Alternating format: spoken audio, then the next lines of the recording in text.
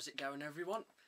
Since I've now got a Dazzle capturing thing and a headset with microphone on it, I can now start doing game reviews and I promise to do a 5200 review when my replacement controllers eventually get here. But anyway, just to show you something.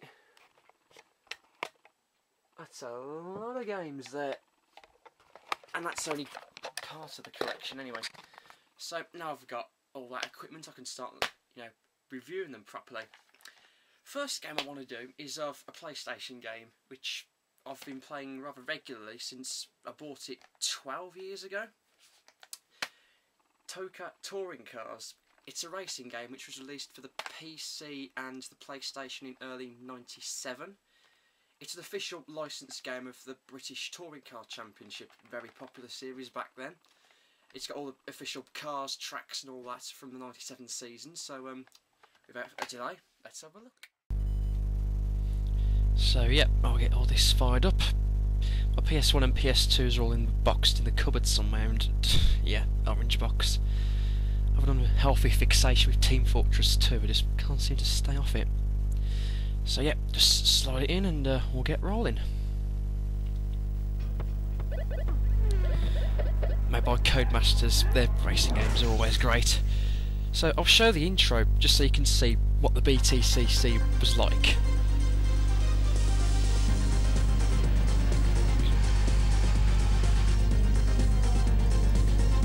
See, during the 90s, the BTCC was one of the most exciting race series around. You know, packed crowds, real close competitive racing, you know, just the sort of thing you want to watch. I think Top Gear made an item about the BTCC in its latest series, and you know, if Top Gear says it's great, it must be true.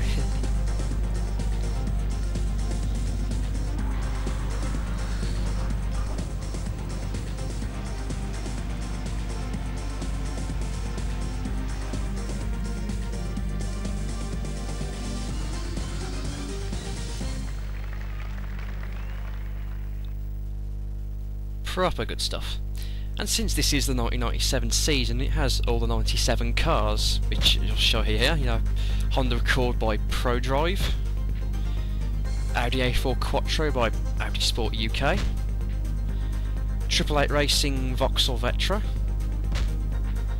Tom Walkinshaw Racing Volvo S40, the West Surrey Racing Ford Mondeo, the Ray Mallock Limited Nissan Primera, Motorsport Development's Peugeot 406, and the Renault Laguna by Williams Grand Prix Engineering.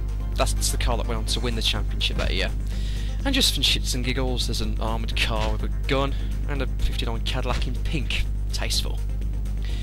And all the tracks are there as well. We've got Donington Grand Prix Circuit, the National Circuit at Silverstone, Thruxton, which is my favourite track in the game, Brands Hatch, the shorter Indy circuit, Oulton Park, the Foster's Loop, that one, the short version of Donington, you know, about the chicane and hairpin at the bottom end, Croft, which at the time had just been rebuilt, Knockhill, quite hilly and quite good track that, in, that's in Scotland. Snetterton, quite short track with um, two long straights, and Lavaland, which I'll show you in another video.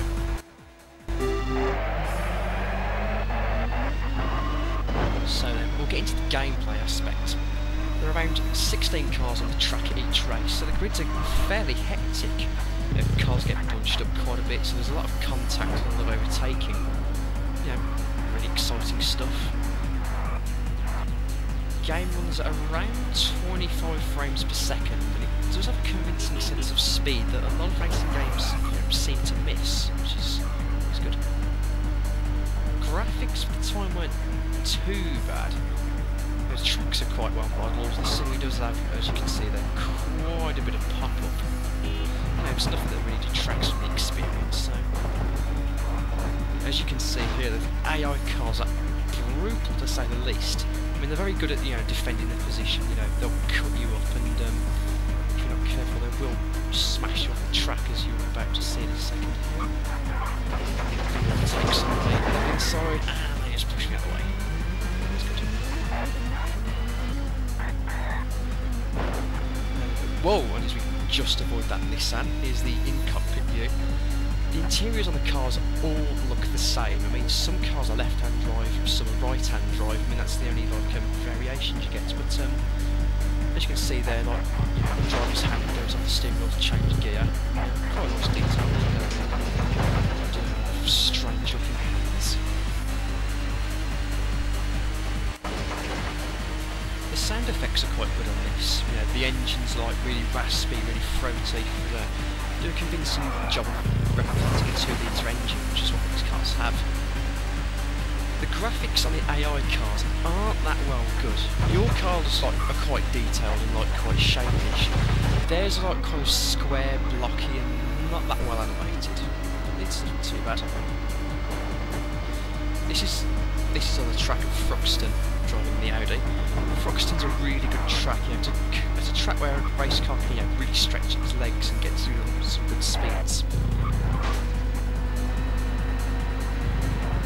the only thing that I didn't really like about this game is its handling. It's really twitchy and very sensitive, even using the analog controls, you know. There's the slightest sharp movements and you're going to spin a lot. So you have to be really careful, very gentle with like what you're using, like D-pad and the analog stick. So it's a bit of a problem with this when you're like really sweeping curves. You see, like getting up to really fast speeds here. Cars can hit 150 miles an hour, you know, so really quick. And speaking of twitchy handling, you're going to spin a lot because of it. As I did quite often, as you'll see here.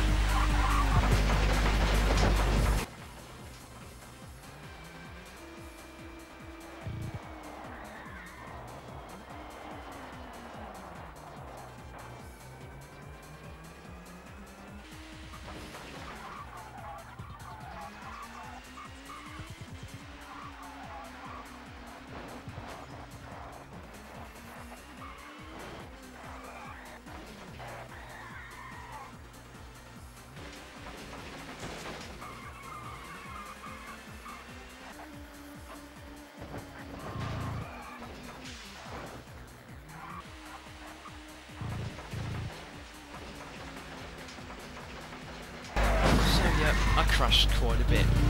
Doesn't sound bad though. And you know, even if the AI cars are quite brutal, you can be too. So get out of the way.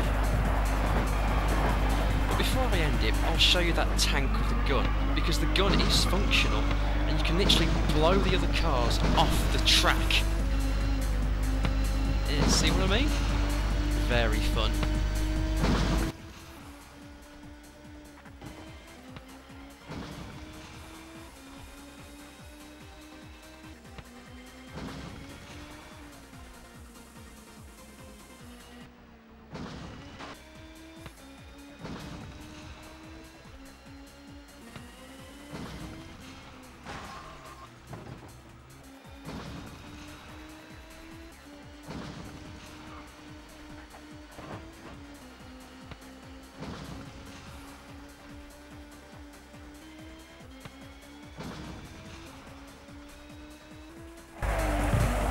Tricky bugger to control though.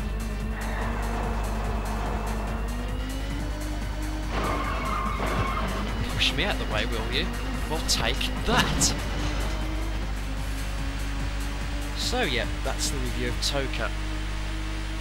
It's a very good game, I think. I mean, I play it quite often still. And um, I'll eventually get onto its two sequels on the PlayStation. For now, this is my first review, just you know, experimenting with everything, I hope you enjoyed it, and for now, au revoir, adios, auf Wiedersehen.